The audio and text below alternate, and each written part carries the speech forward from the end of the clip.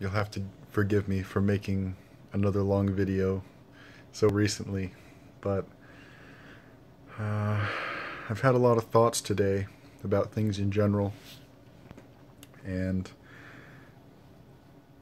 I'm too weak of constitution to to write it. So I I'll just make this and maybe save it for later. But um,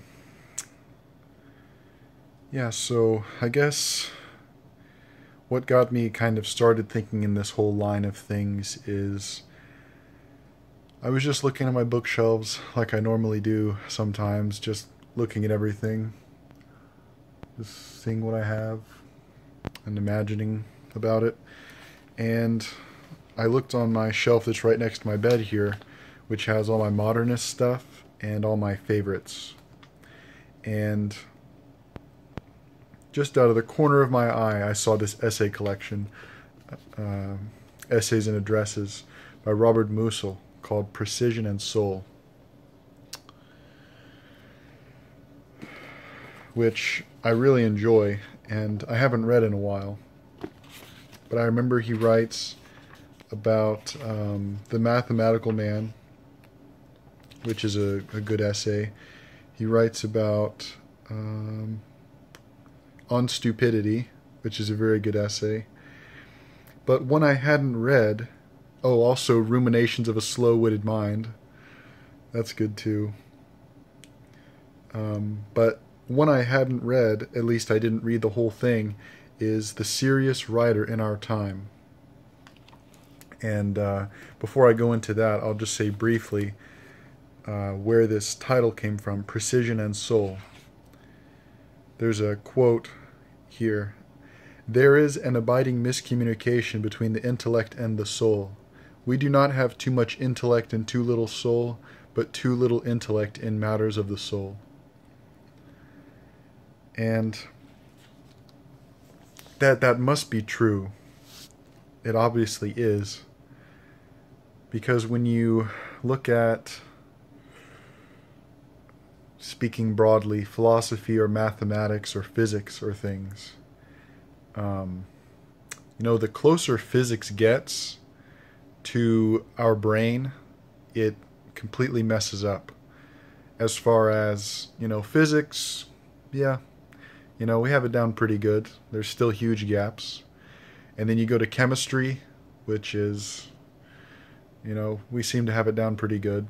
And you go to biology, it gets a little more hairy and then when you go to psychology or sociology you have no one has any idea what's happening really. And you know economics even more so. And that's it's very unusual.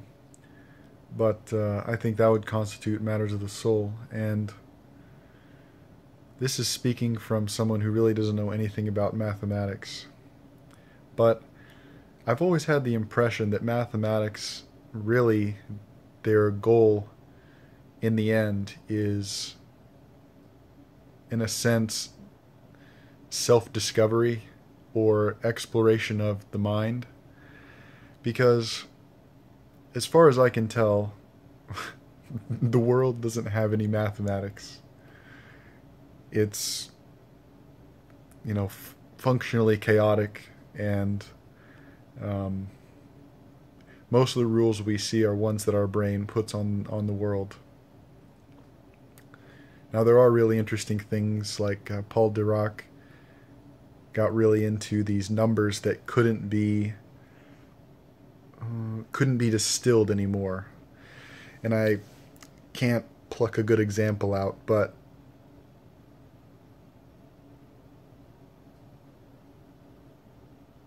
it's like numbers that cannot be derived anymore or you know however you want to say it which is a very interesting talk by him on YouTube about it. I'm sure if you search Paul Dirac it'll come up. But um,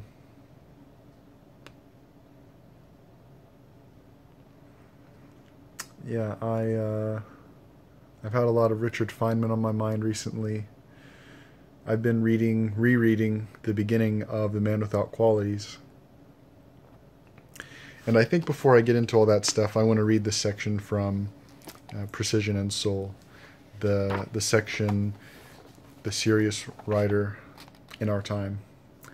So uh, he begins by talking about the serious writer and about today. And because I'm speaking about the serious writer and about today, the beginning is easy, because I can confidently claim that we don't know what either one is. Perhaps I may explain this first as, it's concern, as it concerns the serious writer.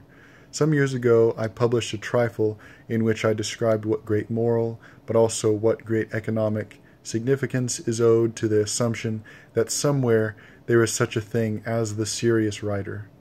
Publishing houses and the book trade, printers, binders, and paper factories, copy editors and the feuilleton pages of newspapers, theater and film, offices that dispatch manuscripts, offices that dispatch matrices for printing, offices that dispatch illustrations, governmental, supervisory, and administrative offices, the hiring of secondary school and university teachers, cartels, unions, libraries, and their personnel, and not least the existence of remunerative scribbling for entertainment.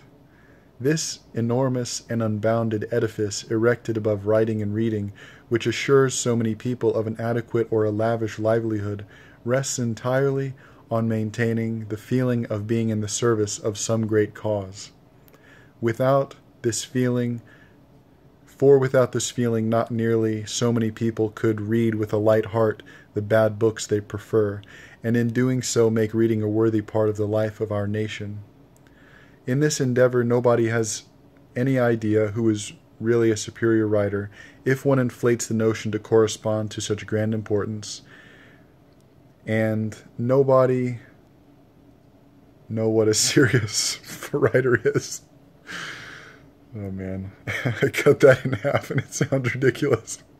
Imagine Robert Musil walking up to you and saying, and nobody know what a serious writer is. All right. So, uh, and, and continuing on. There are among the living perhaps a dozen such caryatids, supporting on their shoulders a monstrous economic apparatus.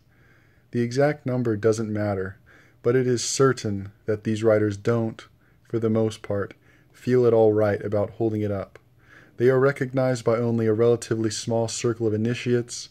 In several well known instances, their income is that of beggars, and the greatest paradox is that everything that lives off them seems to have made it its business to kill them off as quickly as possible. It is on account of these parasites that some undeserving writers receive prizes and that radio networks arrange homages for others. This was most clearly expressed by a lady who disseminates culture by arranging public gatherings, when she was once asked how it happened that she had passed over a particular poet, since helping him ought really to have been close to her heart. What can I tell you? she replied. I have such sensitive feelings. He upsets me. Is this description an exaggeration? It expresses a truth so naked that it deserves to be forbidden at least by law against nudity, if no other. And he goes on to say other very interesting ideas. But uh, well, you know, all of all of it's very very interesting. And I I also think that I, I think that exact same thing that you know the idea what is it oh yeah in uh, Enrique Vila-Matas his book Dublinesque the main character is a publisher an editor trying to find the, the, the masterpiece or the, the genius of the time, and he never finds it. That's, that's one of the main driving points of the book. He never finds the, the James Joyce, he never finds the William Gaddis. And he tries so hard, and that it makes him extremely distressed, first of all, that he can't write it, and second of all, that he can't even find the person that can write it. And like Robert Musil said, it really holds up a lot of this stuff. Like a lot, all of this stuff with literary prizes and You know, even the Nobel Prize, you know, Booker Prize, whatever all this stuff is, the National Book Award, or the, the MacArthur Genius Grant, or really any of this stuff, anything tied to an institution has a very high chance of being completely ridiculous. And uh, just as kind of like a offhand point, I I have thought about how easy it would be to create a literary renaissance. So let's imagine that a writer is able to sustain themselves on poverty level wages, which for some people would be generous as Musil said, you know, relatively well known cases of beggars. So if so if for example the average wage in America is fifty thousand dollars, there are a lot of places you can live for less than that. And you know, if you're really inclined, putting five thousand dollars up for a literary prize each year wouldn't be that difficult. The most difficult part would be reading the books um, and soliciting good submissions.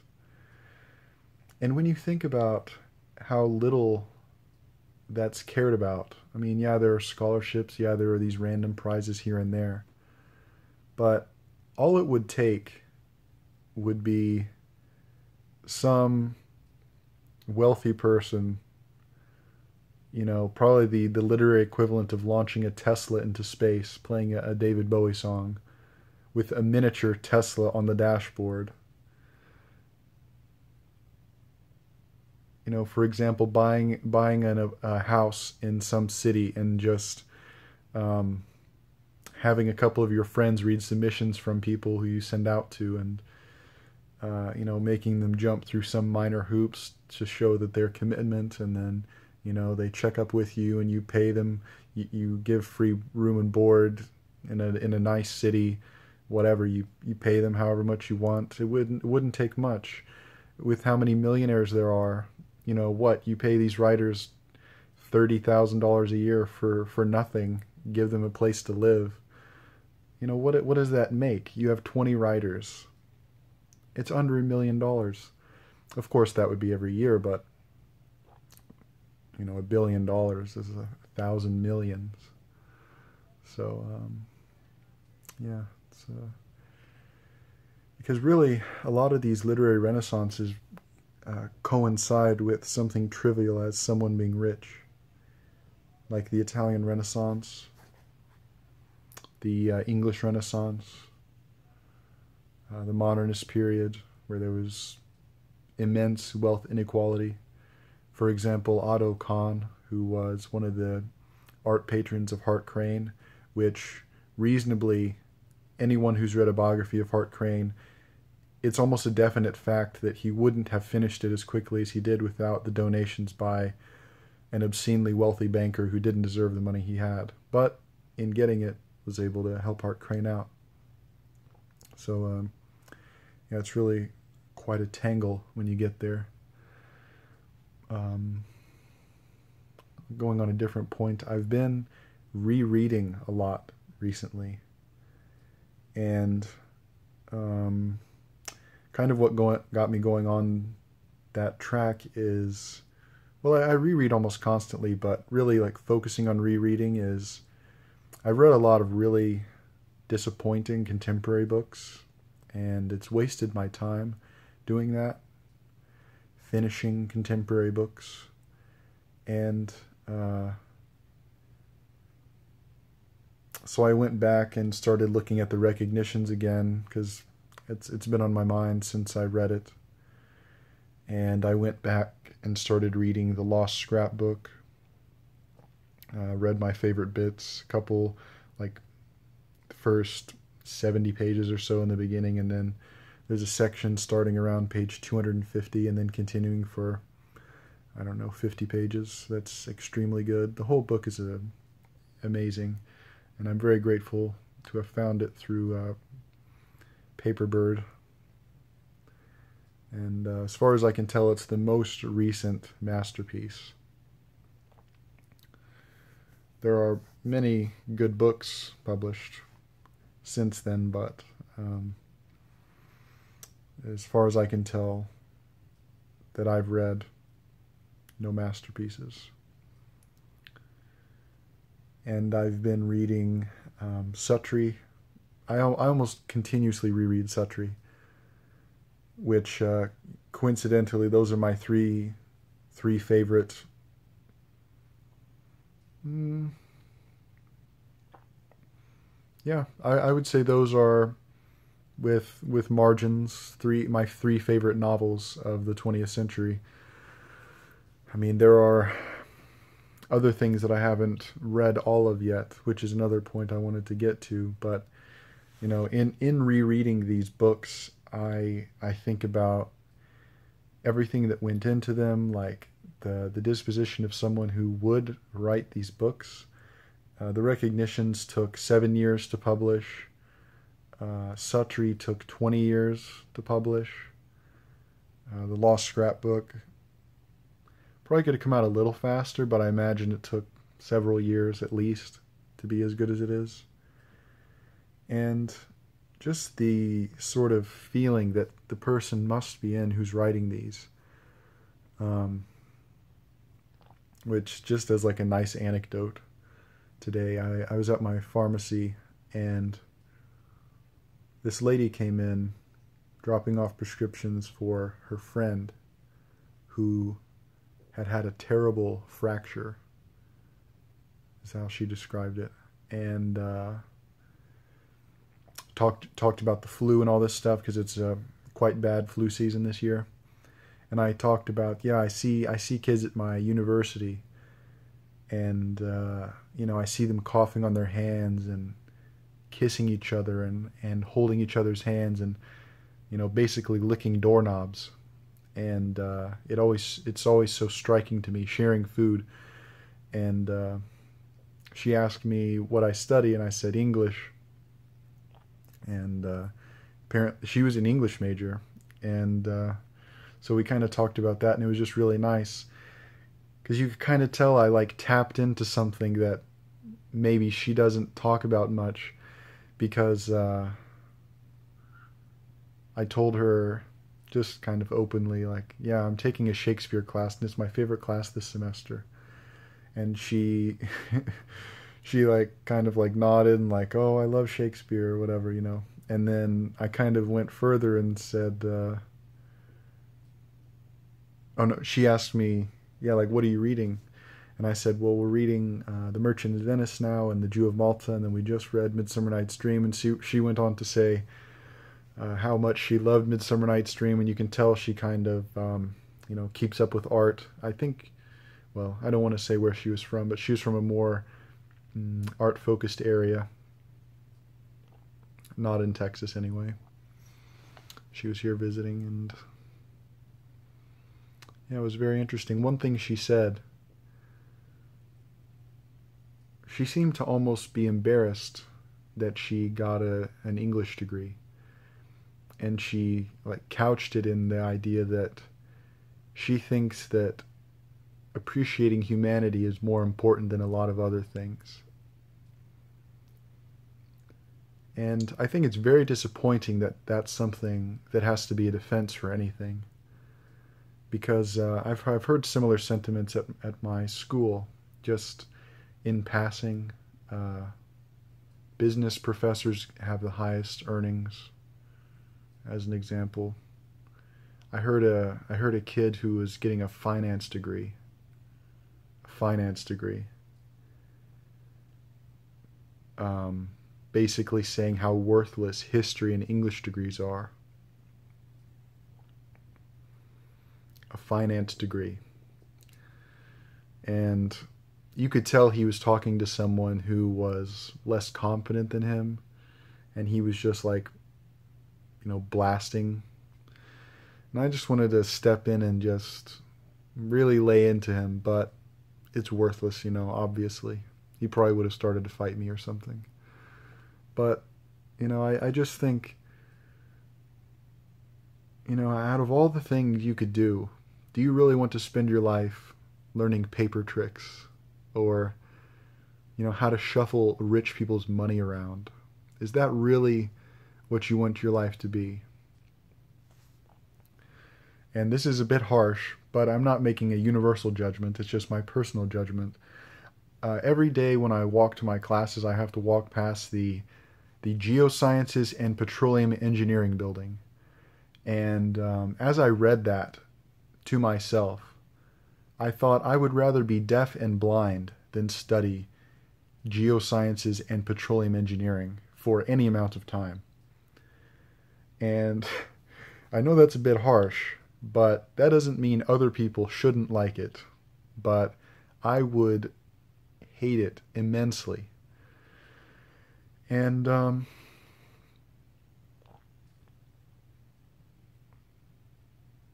you know, I can imagine someone asking me, "Well, uh, wouldn't wouldn't it be easier to do something like that? Wouldn't it be easier to be a lawyer? Wouldn't it be easier this this or that?" Yeah.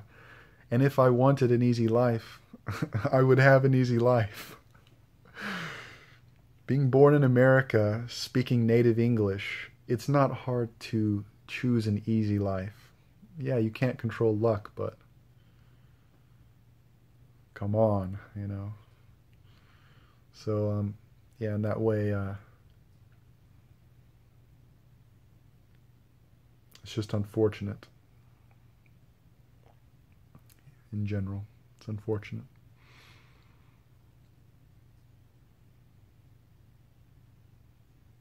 Mm.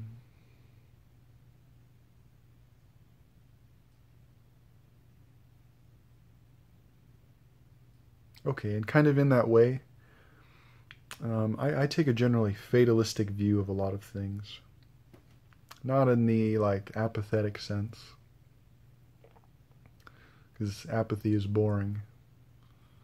There's almost nothing worse than being boring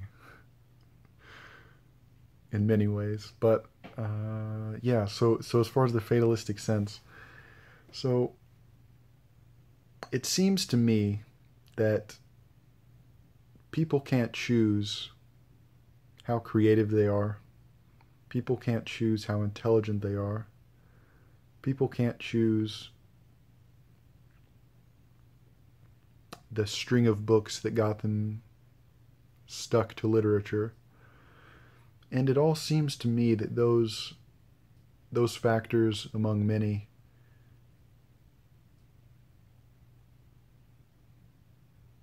very much affect what what any what you can do with your life. So speaking in more precise terms, um, I know some people try to be creative. And or original. You know, that's really the the more I think common formulation of it. Trying to be original, trying to make something new. And uh, I've I've when I was younger, I was more like open to it, like uh, whatever, you know. But now I'm almost convinced it's very stupid. Now, I can still be convinced otherwise. But the reason I think trying to be original is very stupid is um, it's it's like that common joke where um, when you were in middle school or high school, whatever, all the people who wanted to be different looked the same. Like the uh, the uh, goth people or the uh, you know wh- whoever you want to pick. All the people who went out of their way to be different. Like like if you want to be different, you get a tattoo. That I think that's like the old formulation of it, maybe from like the 80s or something. It, it's not really true anymore, but it's uh, you know if, if you want to be different, you get gauges in your ears, or if, you know you're different with, with other people. So I think you know if if someone sets out, oh, I want to write something different, you'll be different like everyone else. And I think the only possibility is mm, is just a pure emanation of, of whoever the person is. And that that's really the only chance of it being unique. You know, if uniqueness is considered a positive trait, which I think it fairly safely can be can be one positive trait of a work.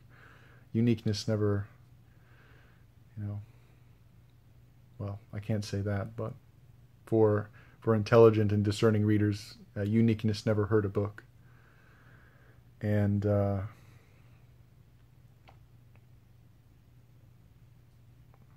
hmm, let's see, I wanted to go somewhere else with that.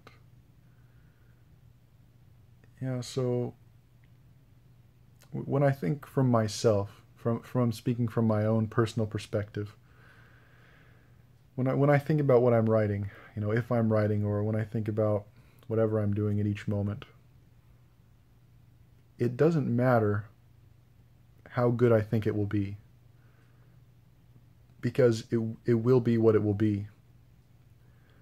And uh, you know that is fairly simplistic, but there was this amazing scene in Phantom Thread where um, the guy's making a dress for uh, this woman and uh, he makes a comment like, you know, how, how nice the fabric is. And then she says, you know, I don't really like the fabric. Or no, he says like, isn't that a nice dress? And she says, you know, I don't really like the fabric. And then the the sister says, the sister of the, the dress designer says, you know, it's, it's a very good fabric. All of our customers like it. And the guy says, She's right. And she's not right because the customers like it. She's right because she's right. you know, it's a beautiful fabric. and then go, goes on to say other things. But the, the main idea of that scene is, you know, a book isn't good because people like it. A book isn't good because it won an award. A book is not good because it's written by someone who comes from this or that place. A book isn't good because it's any of those trivial things. A book is good because it's good. And I, I tried this experiment the other day. Um, I went to the library after class and I went up to the sixth floor, which is the most of the literature. Like uh, they have French, Italian, German, uh, American, English literature up there. And so I went up there, I went to the American section, and I went to the section that's like basically authors born maybe like 1900 to 1950 or so, like birth birth dates and I started at the back. I started at uh, like Vollmann, you know, William Vollmann and all these, and uh, I went through all of it. I went through Z to A, you know, looking at every, you know, more or less every book. Took me a, couple, a few hours, but my my experiment was, can I find interesting books by the title or how they're presented? And it's more difficult when you're in a library because you're only seeing the spine. And um, I took into account like how how used it looked, like how how used the spine looked, if it was bent a lot. Uh, I took into account the color of it. I took into account like the publisher if I happened to be able to see it. And um, I found one interesting book out of all of that?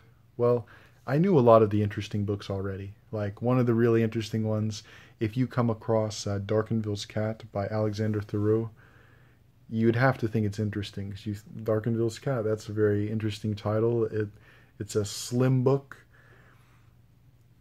Uh, in the hardcover edition, it's slim and it has weight to it. It's black.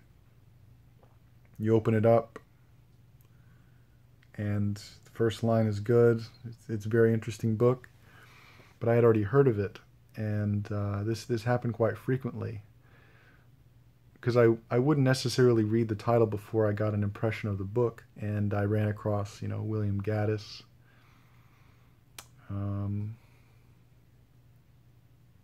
a whole bunch of other people, but the interesting book I ran across is actually a book that doesn't even have a Goodreads profile It's uh, it doesn't really have a title either, but it's the collected works of Adrian Eric Mitchell, who was born in 1963 and died in 1986. He was killed in a car accident. and he was a, a, master's student at Columbia University. He, uh, he was an American and he was studying classics. And I couldn't find any information on this book anywhere. It looks to me like it was, you know, it was actually published. It's a very nice edition, a hardcover book, nice paper, well printed. But um, the preface is written by one of his professors at Columbia, and then there's an introduction written by someone who never met him. I'm assuming one of the friends of the preface professor. And it says that uh, his family, uh, like, connected with the professor, see if he could get it published, all this stuff. But the book is very interesting because it's a 23 year old guy, and I'm about to be 23. So a lot of our sentiments overlap. And he, he wrote in an interesting style. He wrote in like an older style, uh, like an older affectation, and a lot of his stuff is very interesting. Um, and the only reason I picked it up is because it says Eric Mitchell, 1963 to 1986, on the spine, a black spine. The only re- that's the only reason I picked it up, and uh, I think I think that's because it was in the aisle of Cormac McCarthy. Pretty sure it was. But uh, yeah, just reading about him, he he always tried to be, you know, kind of like uh, he tried to be interesting. Um, and it was very interesting uh, how the professor wrote about him because I've tried to interact with professors here, and they basically don't care that you exist, more or less, which is you know you you wonder why they're why they're even teaching, but this professor at Columbia clearly appreciated this guy and uh, enjoyed him in class and all this stuff. And he has very interesting ideas. One of his ideas that I thought was particularly interesting is um, if there is actually a God, there can be no free will because all of all of your will that could be free is accounted for by the God's will. Uh, the only way you can have free will is if uh, there is no controlling power over the universe. He says it more eloquently than that, but that's the general idea, and I thought that was interesting. I never really thought of it that way before. Um, yeah, and I read that whole book that night. But that's kind of one thing I wanted to go into also is uh, the idea of like finishing books or reading books which I think is valued too much, like valued way too much, especially in the Goodreads culture. But uh, I've always been on the edge of thinking finishing books barely matters. Like that's that's my general disposition throughout my life. I, I think it, it hardly matters. And sometimes I I err on the, the edge of finishing books is worthless. not even that it hardly matters. Like that's, you know, in that way you'd be like, oh, you might as well finish it. But I, I think often it depends on the book, obviously. Some books are throwaway books and you don't even care whether or not you finish it, so you might as well just finish it. And I don't really mean those books. I mean the books where it's extremely important to finish it, so you don't. Whether because the author left it unfinished or it would be silly to finish it because to finish it it would necessitate you skipping things that you should spend time on something like that. Because uh, you know i've read the first 250 pages of the man without qualities maybe four times now and i haven't ever gotten past it. And it's for no particular reason but i can easily say that this is one of my favorite books i've ever read. And you know, I can imagine at first glance for an unsympathetic listener, they could say, "Oh, you haven't even read it." You know, how can you say it's valuable or something like that? How how can you say it's meaningful to you?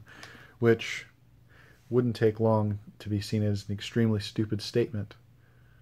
But I think finishing books or, or reading books, as in I read it, is, you know, at best naive. And at worst, like vain and, you know, like people who who rate Finnegans Wake five stars and say, I haven't read it. It's like, okay, okay, bud. But I, I think in that way, you know, finishing books is extremely trivial for for the books that actually matter in the end. Um, because I, you know, I can say I've read Suttree or whatever, but I've read it twice now, and I don't ever plan on stopping reading it. So, in that way, I must not have read it, because, you know, if if I've read it, then I wouldn't need to read it and uh, I still read it, so I must not have read it. I'm just kidding, but uh, I'm, I'm I'm kind of kidding, but it's true because um, I was I was thinking in this way with uh, Gödel's incompleteness theorem and completeness theorem, and I can't say I understand it completely, but uh, it's very interesting hole to go down reading his biography, The Logical Dilemmas, because he was 25 when he came up with his completeness and incompleteness theorems, which are, you know, extremely brilliant, even if you only glimpse what he means with it. Uh, but it's the idea. I think there's almost nothing nothing more beautiful than an unfinished perfection. And I think, in fact, those are the only things that can be perfect, are unfinished things. You know, and that, that includes the idea of hope, kind of, but it's also a, a tragic sense, a tragic sense of hope. Because um, if, if the perfection is impossible, but your only hope is the perfection of it, it it's somewhat tragic. Uh, in the way of mathematics, uh, it's it comes from the, you know, like this sentence is false. So just the fact that that sentence can exist, it it makes something unusual. But um, also thinking about the law of excluded middle, which is something that Gödel thought about a lot when he was young, which is the idea that um, the law of excluded middle is that uh, something is either, can either be proven true or proven false. And that's generally been revised to be it can be proven true or it uh, can't be proven to be true. And uh, you know, I think that's very interesting, just in the in the uh, context of mathematics and logic, where where it is a quite shaky idea compared to this can be proven true and this can be proven false.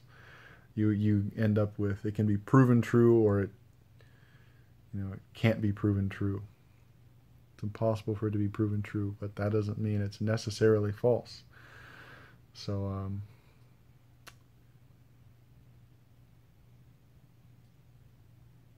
and uh, in this essay by Musil, he says. Uh, as a general idea, you know, he talked about the idea of the uh, serious writer, and then he goes on to talking about today, how we actually have no idea what's going on today. We we can have no idea because we're in it. We only know what's going on, you know, in, in the past or maybe 20 years past as you start to have a good idea. And um, Musil wrote, published the first volume of The Man Without Qualities 16 years after he said it. He said it in uh, 1913, right? Has to be. Yeah, 1913. It starts in August 1913, yeah. and uh, he published it in 1930, the first edition of it, first part. So uh, he must have had some idea of that. But one line in there in this essay is "We err forward," and it is a sense of optimism because he brings up the idea that well, we haven't failed yet. You know, there is always the chance of chronic uh, decay in human culture where where the right people don't get put in the right spots and the the mass of people just drags everything down more or less and that's that's always imminent it it can it's always around the corner but oddly enough we've kept it going for a little while at least you know 500 years on this string in the west which is a pretty good string, all things considered, when, when you imagine what could have happened easily. So I, I think he has some uh, valid point there of this optimism. I've been listening to Steven Pinker a lot and some Jordan Peterson stuff, but Peterson gets a little too mystical and weird for me. But Steven Pinker's more my style of optimism, I suppose. Looking at graphs of violence going down, looking at graphs of poverty being uh, eliminated, uh, you know, diseases being taken care of, literacy going up, people being more educated, the Flynn effect, all this stuff, you know. It is it is intellectually optimistic. I mean, not that itself, but it does make one more optimistic intellectually. But uh, Bob Dylan won the Nobel Prize for Literature, so.